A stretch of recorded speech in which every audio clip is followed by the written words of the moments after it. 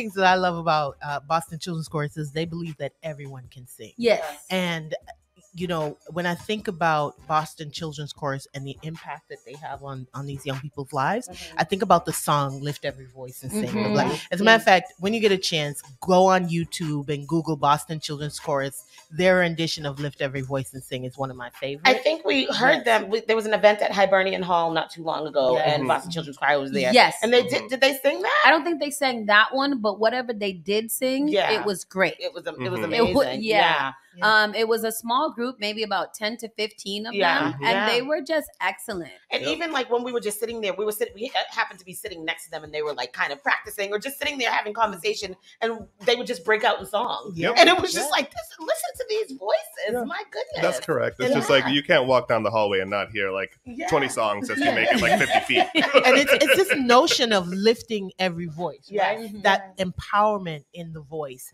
and what especially whether you're coming in at age seven or age seventeen, youth, child, adolescence, young, y- um, Mhm. being a young person is a time of finding your voice. Yes. Yes. And so the ability to find one's voice and to know how to use it and how to position yourself as a leader. So just being on stage Mhm. and um, representing yourself in that way. Another thing I want to say about Boston Children's Chorus and our approach, especially this year, um, we are standing out more into the neighborhoods of Boston. So we have seven locations Yeah, from Roxbury to um, Mattapan, Hyde Park. We're going to be at Roxbury Community College. It's Oh, one of our central JP. choirs. Yeah. In Jamaica Plain, we're going to be at the Footlights Club, which is what, what um, one of the actually the country's oldest theater. Mhm. Um, Oh. is is in uh, that Center Street strip of um, See, Jamaica I didn't Plain. know that either. Yeah, Mhm. and so we're gonna Okay. be we're gonna There's be there. news all day, Yeah. every day. There's and, and so what what that does is